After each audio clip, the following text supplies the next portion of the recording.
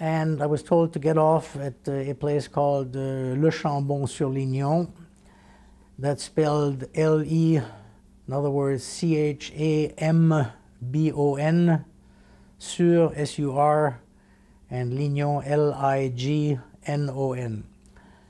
Uh, and I arrived there at about four o'clock in the morning, three, three or four o'clock in the morning. It was a bitter cold night.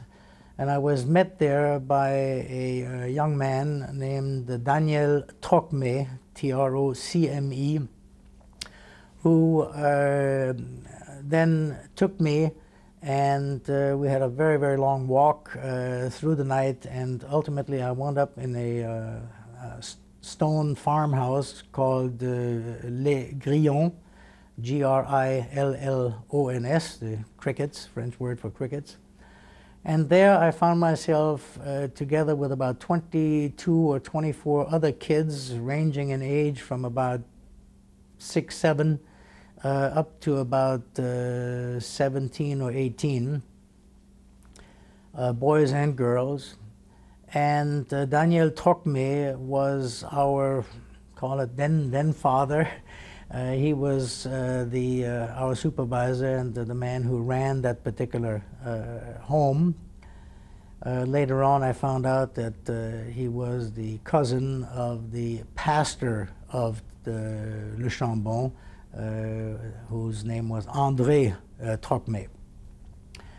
At first, I didn't know where I was, uh, what it was. I discovered uh, later, especially after the war, many years after the war, that Le Chambon was a most unique uh, village in France. Uh, it is located at about 3,000 feet elevation uh, in the Massif Central, in the central mountain uh, chain in France uh, sort of isolated on a uh, desolate plateau, very cold in the winter, windswept plateau. Um, agriculture was pretty rudimentary.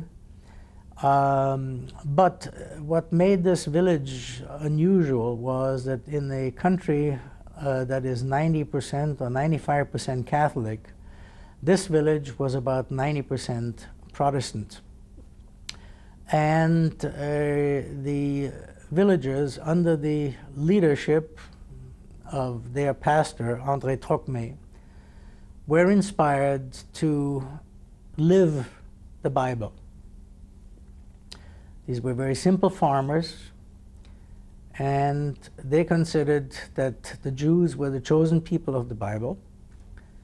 They knew that they were hiding Jews. They uh, also believed in helping because the Bible says to them, help thy neighbor. Um, we um, were looked after and fed, and uh, every so often uh, we would be told to suddenly leave the classroom or leave our uh, home, Les and go pick mushrooms. Go everybody into the woods. Later on, we learned that when that happened, it was the result of an anonymous phone call to the leadership in the village, uh, warning them that uh, there would be a raid and that they were coming out to uh, hunt for Jews or illegal uh, residents there. And we would be kept in the woods until uh, the all clear signal was given and we would then come back into town. We lived as, um, as uh, Frenchmen, so to speak, and uh, this went on until about uh, the latter part of April 1944. At that point, uh, the Germans occupied the town again and ordered all uh, males between the ages of 16 and 55 uh, to report to City Hall. Uh, although I was only 15 and a half at the time, I uh, knew well enough at that point not to uh, go and uh, be exposed. I went and hid in the local church, which was adjacent to the school where I was. And um, stayed there for about 24 hours. Uh, I knew my way in and out of that church, including how to get up into the church steeple, since I had also served mass in that uh, in that church.